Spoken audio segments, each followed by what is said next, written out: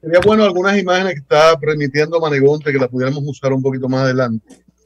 Eh, incluso él establece los lugares a propósito de la llegada de Isaías al territorio dominicano. Eh, y, y Cristian. llama la atención. No, disculpa la interrupción. Solo porque tenemos las imágenes y Joan nos la va a poder compartir al aire, de cómo empezó el proceso de requerimiento de la prueba obligatoria para quienes desde hoy ingresan a República Dominicana. Eh, también hay, ustedes saben, y se anunció 10 unidades para hacerle la prueba rápida a quienes no traigan la prueba obligatoria. Yo lo que no entiendo, yo lo que no entiendo es, se va a hacer PCR en el aeropuerto, bien, usted no, no, no es rápida en el aeropuerto. Ah, yo leí PCR. No, es rápida. No, es yo, Lo que no sé, yo lo que no, sé. Lo que se exige, Cristian, PCR, deben traerlo. Cinco si tú no traes tu PCR, se hace aquí la prueba rápida. Entonces, en esa prueba rápida, Cristian. ¿Qué hacemos con, ellos mientras tanto?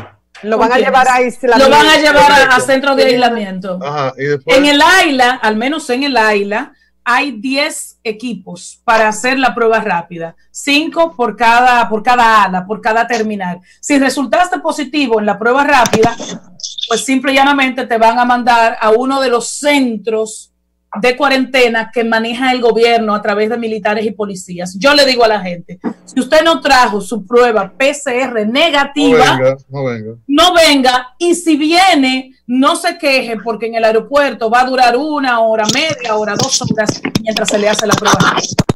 Bueno, eh, entonces arran comienzo formalmente. Me llamó la atención la, el apresamiento de alias el Pequeño, eh, y se habla del cartel de Sinaloa de lavar 260 millones de dólares. Es mucho dinero. Eh, aquí es una persona que se acusó de, participar en el atentado a David Ortiz, que se dijo era de los, en principio, que era de los que organizó esto. Se habló de que pertenecía al cartel del Golfo. Luego el individuo viene de no sé dónde y se aloja en Pantoja y lo apresan ahí eh, no hemos vuelto a, escuchar de él. Eh, en estos días el NATO, que se dice brazo derecho del abusador, eh, bueno, lo atrapan en la Venezuela en un bar. Era una, una, una figura enorme.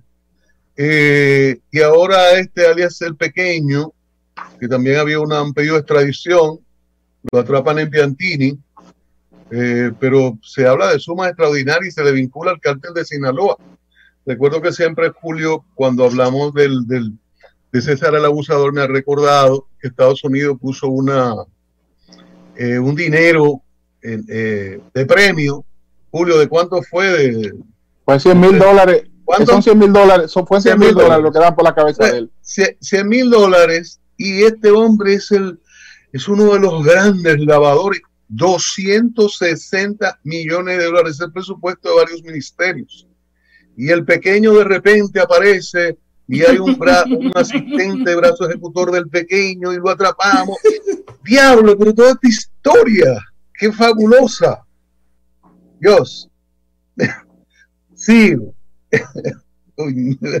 ah, bueno, eh, por otro lado, eh, le manda a decir un amigo a Luis René Canal. Ya que vas a decir, por otro lado, ya están las imágenes que tú decías que mandó Manegonte. Ah, perfecto. que, la titulen, por favor, de los lugares de Nizaito. río, Nizao, a la altura de Rancho Arriba. Esas imágenes que ustedes van a ver, cortesía de Manuel González Manegonte, mientras Cristian habla de otro tema para que vean cómo está la situación allá en Nizao. Sí, eh, correcto. Un mensaje al amigo, a Luis René Canán, de que ayer presentó, a propósito del agua, en la Corporación Acueducto de Hermanas Mirabal. Me dicen que Luis René nunca había hablado de eso y que es una propuesta formal que hizo Bautista Rojas Gómez, elegido el pasado 5 de julio como senador, pero después de tantos años, Luis René ayer hace esta propuesta en, el Congreso. Y, Dirá él que más vale tarde que nunca. Sobre el año escolar, y bueno, tengo que hablar de Punta Catalina, Punta Catalina un poquito más adelante. Sobre el año escolar es bueno ver unas declaraciones de del presidente electo Luis Abinader en el periódico El Día. Él dice y que podría llevar a uno por dónde andarían los tiros, porque hay muchas propuestas y una gran preocupación sobre la salud de los niños, ¿no? Dice que eh, a los padres les preocupa mucho que sus hijos tengan que asistir a clases de manera presencial, pero no podemos permitir que un sector de la población de mayores recursos tenga acceso a la tecnología para la educación de manera virtual o semipresencial y que los niños pobres no puedan tener las mismas condiciones.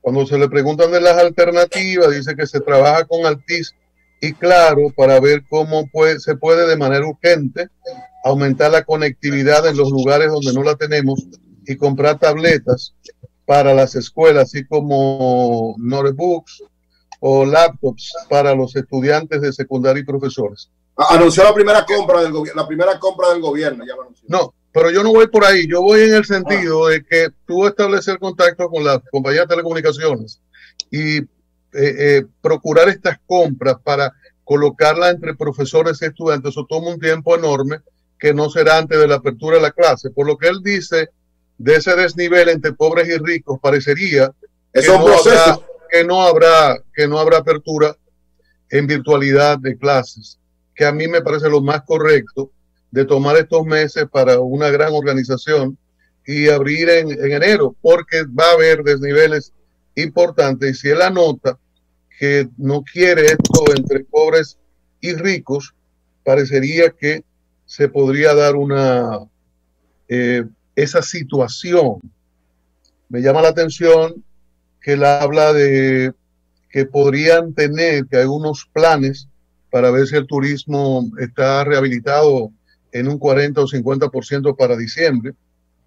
Me parece una aspiración muy optimista. Ojalá que que esto pueda, que esto pueda ser, concretarse, porque no, no, no me parece tan fácil que se, pueda, que se pueda dar esta situación. Cristian, ¿tuviste la, la entrevista que le hizo, verdad? Tú estás hablando de eso, la entrevista que le hizo Monegro a... Eh, sí, estoy viendo la del día. Ah, la del día, pero tú viste, en, la entrevista yo hablé ahora con Monegro hace un momentito, lo felicité, lógicamente, dio un palo, pero con una macotica. ¿No viste? Con una, la pregunta va a tener una macotica. Yo, venga, pero negro, estamos en tiempo moderno, se supone que era una lactón, un para que tú no. tenías que un No, no, no, te dijo, no te dijo que lo importante era el contenido.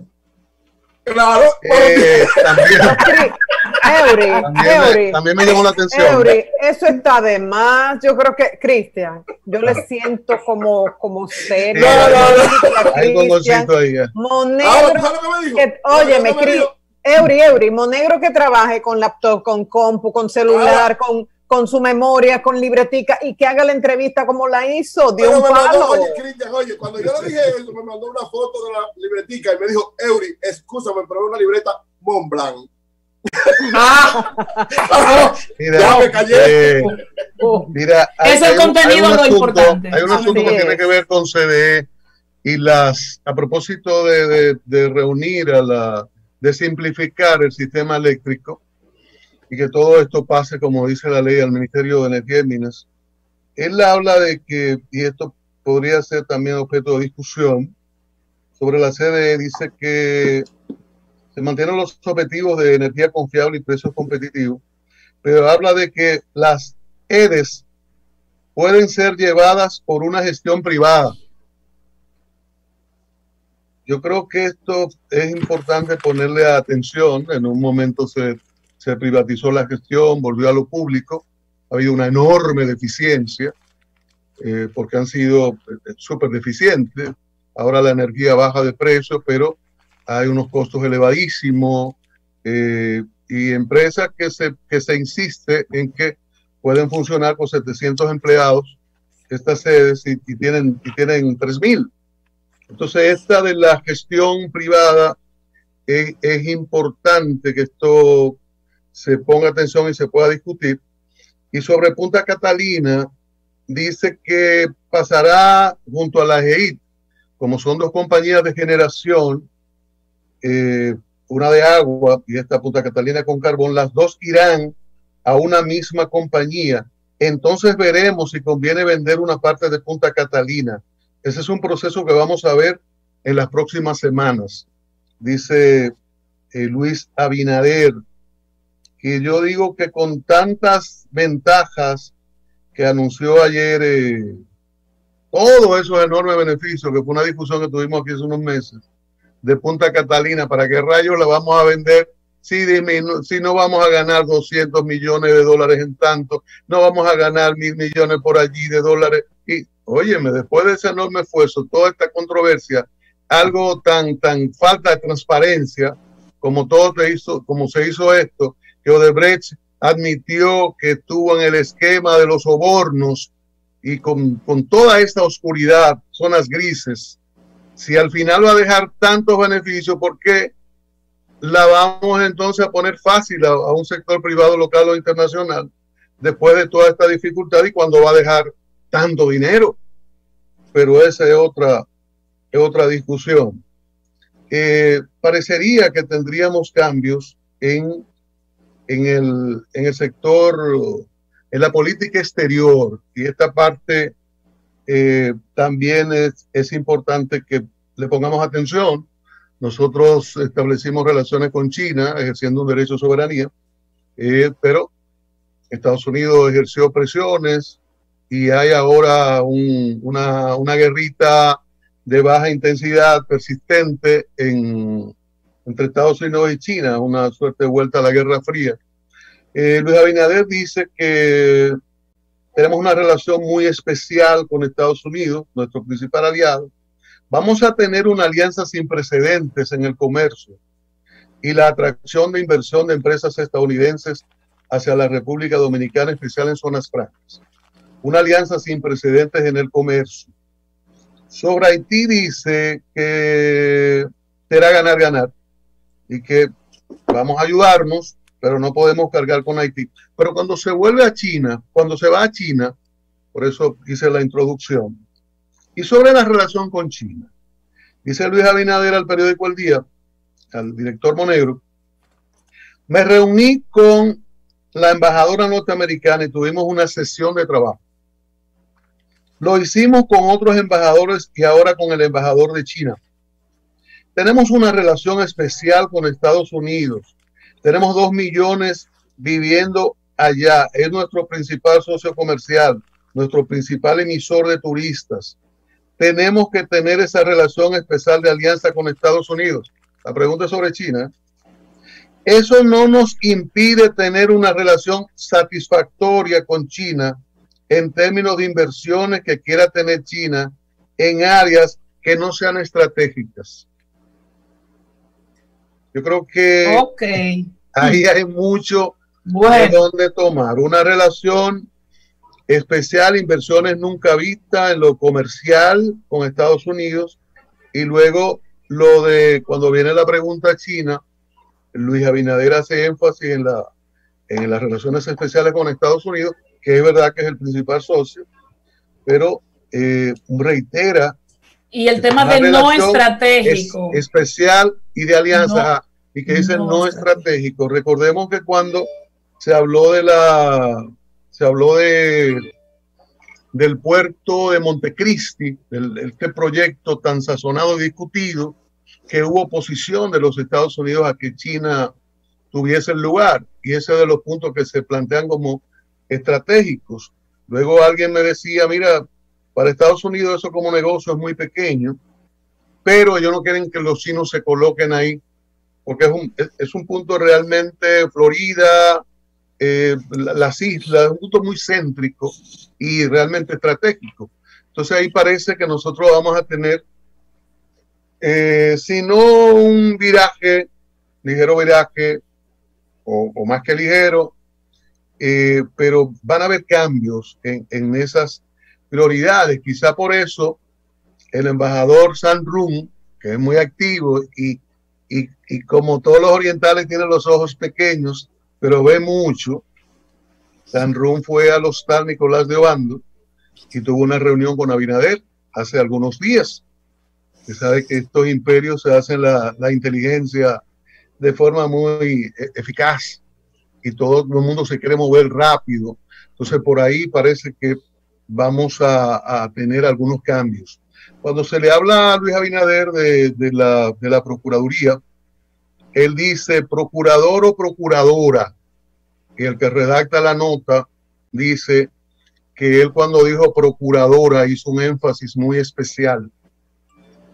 Él mismo, procurador o procurador. Entonces cuando es procurador él hace un énfasis muy especial y, y bueno, y repite lo referente a que no sea una persona que dependa de la llamada del, del, presidente, que no haya esa, esa dependencia. Ahora, el Abinader preguntado sobre Abinader preguntado sobre lo que ocurrió hace unos días en el Ministerio Público y preguntaba, le preguntaban que si no se lo darían, no le dejarían esto amarrado. Él dijo que, que se quejó. Realmente hubo un intento, cuando le preguntan de amarrar el Ministerio Público, aquellos ascensos que al finalmente se dejaron en, en, sin efecto y que han provocado tanta controversia, dice Abinader, realmente hubo un intento, elevamos nuestra queja, elevamos nuestra queja. Uno supone que el presidente Medina, porque él dice que ha habido buena comunicación en la transición con el presidente Medina.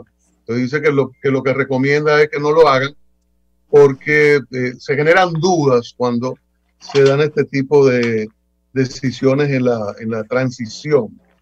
Eh, es, es, importante estas, estas anotaciones porque es el presidente electo, ya ha habido muchas reuniones, estamos más cerca de la toma de posesión y, y fue una entrevista con un director de periódico más, más reposada que una declaración de pasillo en, en cualquier lugar. Entonces ya es un poco eh, eh, afinando en lo relativo a una serie de políticas que son vitales.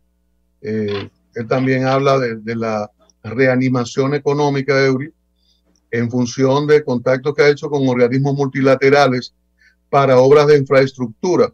Entonces mencionó ahí acueductos, acueductos y otro tipo de infraestructura. Acueductos, viviendas. Y viviendas. Acueductos de viviendas fundamentalmente.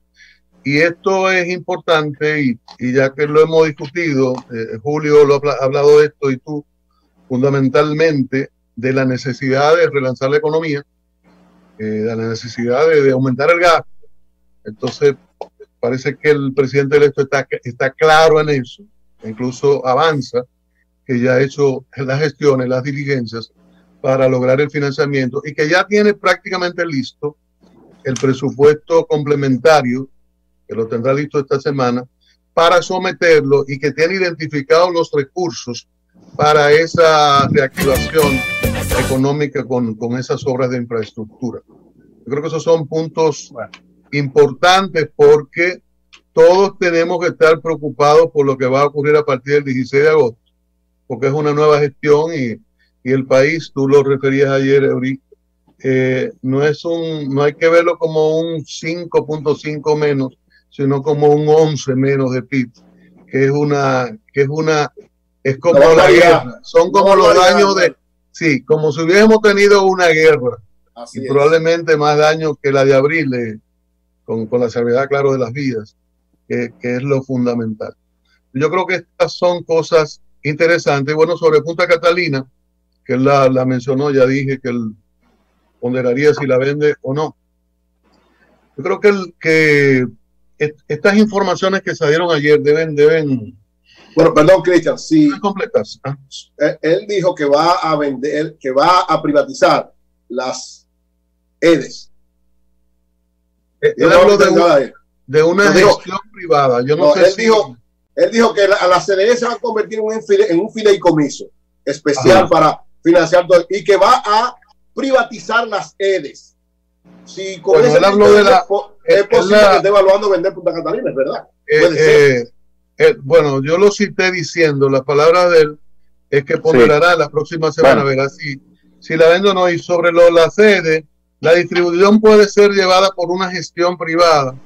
Eso puede ser privatizar o eso puede ser contratar una gestión privada, que esto también se usa en, en, en, esos términos. Son privatizados, eh, correcto, pero lo de Punta Catalina, eh, repito, ayer se avanzaron informaciones, es bueno que se completen todas estas informaciones, falta mucho, el gobierno la recibe, debe ir alguien por, por como administrador, que, que se dio el caso de que Escuder pasó de la, de la comisión que examinaba Punta Catalina a ser el primer administrador de Punta Catalina, que ya eso plantea un, cuestionamiento.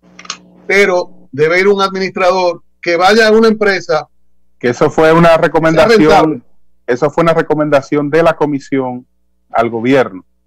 Eh, Por eso se después, después del informe, después del informe que rindió la comisión, el presidente que nunca quiso politizar a Punta Catalina, es decir, poner un político, un dirigente del PLD, una gente cercana a él para politizar eso. Politizar la administración, porque ya de hecho está politizada. no, no está politizada. Punta Catalina no está politizada. Eh, no, la, la, eh, administración, no, no, estamos hablando de la, de la, de la, de la, empresa como tal. De la empresa como tal. entonces, la, después que se rinde, que la comisión rinde el informe, el presidente le pide una sugerencia o que quiere colocar a alguien allí que eh, pues reúna los perfiles para que eso no se politice.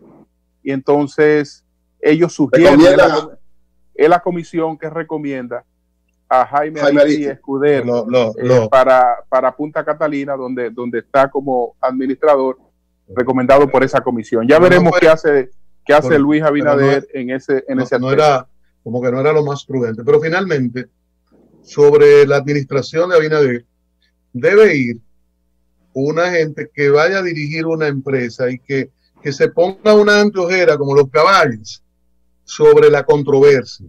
El Ministerio Público, Cámara de Cuentas y otras instancias deberán investigar todo lo relativo a Punta Catalina, porque fue Odebrecht que dijo que la utilizó en el esquema de sobornos y en la información que dio del 13 al 14 hay 13 pagos. Entonces, que se investiguen las instancias bien investigadoras.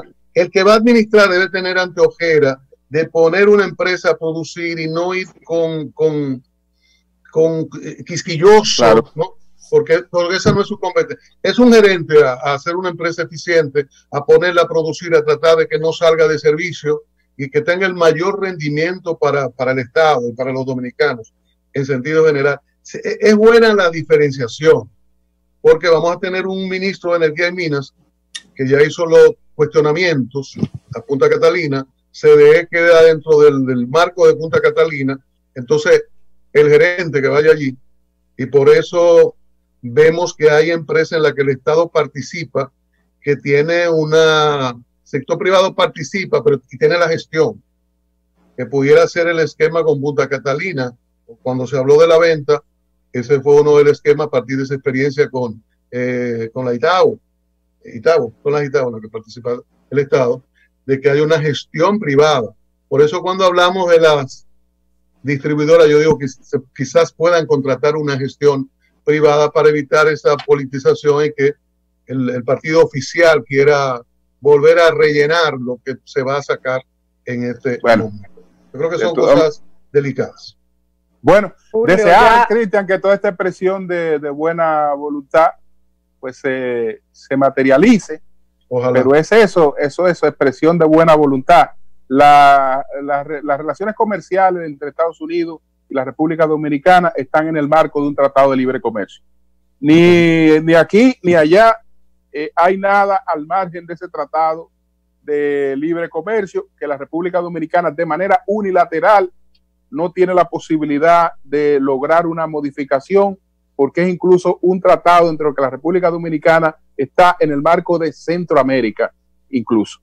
Entonces, eh, usted va, viene con grandes inversiones pronto de zona franca. Bueno, eh, varita mágica, porque yo no conozco una sola cadena importante en Estados Unidos que no haya cerrado mil tiendas en estos momentos. de, de, la que, de, la que nosotros, de la que nosotros le suplimos a la zona franca. Yo no conozco una sola cadena importante que frente a esta crisis no, haya, no se haya declarado en quiebra y no haya cerrado mil tiendas. Entonces, en ese esquema, tú vas a tener una mayor inversión de zona franca americana en la República Dominicana, en ese, en ese esquema de crisis. Bueno, en, en el periódico, en el papel y en la palabra, tú tienes de todo, de todo. Vamos a ver entonces cuando los hechos se estén concretizando, cómo, cómo esas cosas hay, dos eh, pues, también, aterrizan con la realidad. No, no, eso, eso es una salvedad con, prudente. Pero hay dos cosas. Él habla de que se reunió con la embajadora norteamericana y hablaron mucho de estas cosas y eh, lo relativo a, la, a, la, a, las urgencias y Estados Unidos evidentemente ha estado muy cercano de la, de la, de la nueva gestión. Entonces querrá meterle el brazo. ¿Te entiendes? Y, y, es importante para ambos lados. y doña Sonia, doña Sonia, perdón, Julio. Estados Unidos en estos momentos necesita ayuda. Sí, doña Sonia Guzmán, que fue la del acuerdo en, en aquella ocasión, va a Washington. Sí. Y quizá también eso pueda allanar algunos caminos, pero claro, del hecho a, ¿verdad? dicho al hecho, es tremendo trecho. María Elena. Sí, que miren ah. imágenes de Punta Cana, las mandó Manegonte, dice que cortesía de Johnny Adams, ahí se observa lluvia y viento. No sé dónde ustedes viven, pero donde yo vivo aquí en Santo Domingo ya está lloviendo intensamente, o sea que estamos recibiendo la llegada de Isaías. Y agradezco a Alexis Beltré, parece que yo esta mañana cuando hablaba de que la inauguración de Teleantillas se pospuso por unos fenómenos, mezclé porque hubo un fuerte huracán David y luego la tormenta Federico que aunque era tormenta hizo mucho daño porque ya los suelos estaban saturados. Parece que yo dije tormenta, David, y Alexis me dijo tormenta, claro que no es tormenta. si lo dije fue por un error. El huracán David, uno de los peores que ha pasado por el país, y luego la tormenta Federico, que unidos hicieron muchísimo daño y eso pospuso la inauguración de Telantillas. Gracias. Ya está yo ya está lloviendo mucho en la ciudad, en todos los puntos de la ciudad. Claro, pero aquí, no, aquí no estaba lloviendo. Hace rato, una pausa para que la gente nos diga cómo va la situación y, y entramos con nuestras comunicaciones. Está lloviendo ya en toda la ciudad. Sí, y vamos a ver si conversamos también un poco más adelante con, con Gloria Ceballos. Cambio fuera. Perfecto.